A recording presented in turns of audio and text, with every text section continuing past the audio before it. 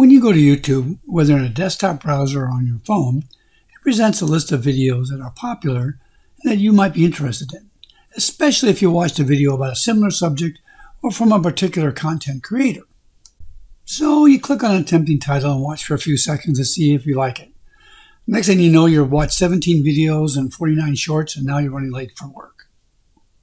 So fortunately, there's a way to get rid of some of that history or stop having to collect it at all. Uh, let's take a look. So you bring up your account and it has normal uh, previews here on what you're looking at. And make sure you're in your account in case you have several. But you come over here to where it says history and you click on that. Now you'll see a very nicely laid out uh, history here of uh, the current stuff. And then below that, you'll see even more details of each and every one that you've had, including the red line that tells you uh, how much of that video you've watched. And if you scroll down this page, it keeps loading more and more. It's, it's an infinitely long list, as much back as uh, you have in your history. So let's manage that. So if we come over here, uh, again, we're at the history. So if you look in the top right hand corner, you'll see uh, your options. And the first two are pretty self explanatory. The first one is to clear all your watch history. You can pause it recording it uh, on the second option. But what we want to do is manage uh, your history.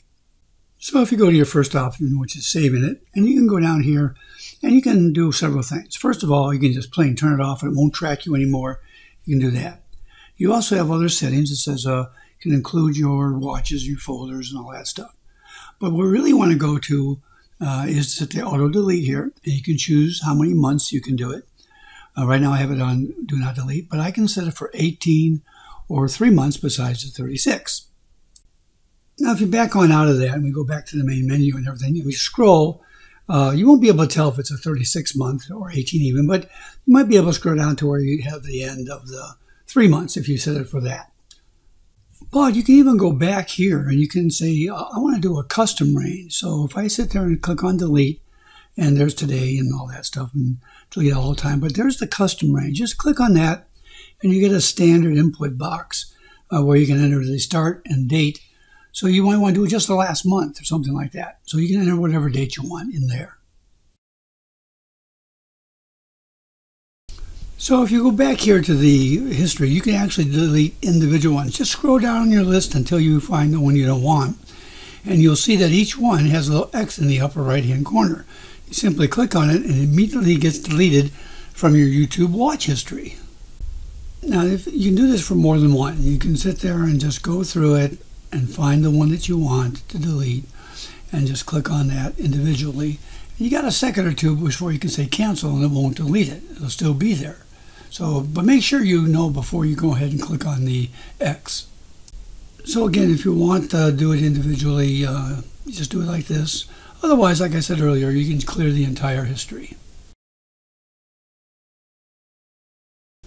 So besides your watch history, you can actually go down one more and go there to comments and click on that. And you can go in here, and here's all the comments I've made on my channel, but you should be able to find comments you made on other channels as well, and go ahead and go through that.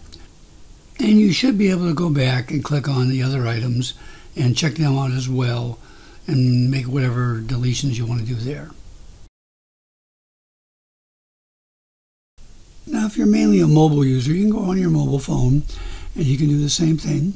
In this particular one, I make sure that you're in the account you want. I have multiple accounts. So I'm in my account, and I can click right here next to the shorts or whatever, and it says Manage Your Watch History. Uh, but you can go up to the gear icon up top, and there it is there. Manage all of history. So if we click on that, again, make sure you're in the right account, and you come in here. So just like on the desktop, we have several options here. You can do them right here in the mobile. Uh, you can set your parameters for uh, if you wanted to turn it off completely. Uh, you can do it uh, which things you want saved. But again, just like a desktop, besides setting these parameters here uh, to manage it automatically, you can go to your history. And for this one, you just scroll down here and you'll see at the bottom, uh, you'll see Manage History. Click on that. And then we'll go right to the exact same listing we had before where you can follow the same instructions. You scroll down and each one you want to delete and use the uh, delete function as we talked about before. Uh, or you can do a search here at the top and get a discrete list of a certain ones with certain titles.